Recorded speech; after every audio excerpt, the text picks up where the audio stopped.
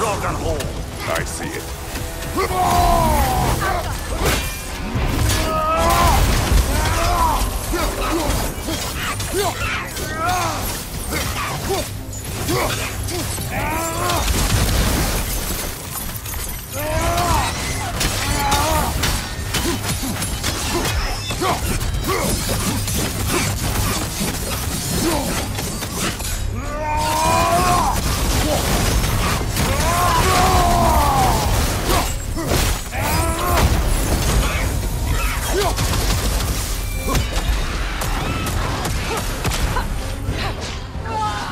Hertha!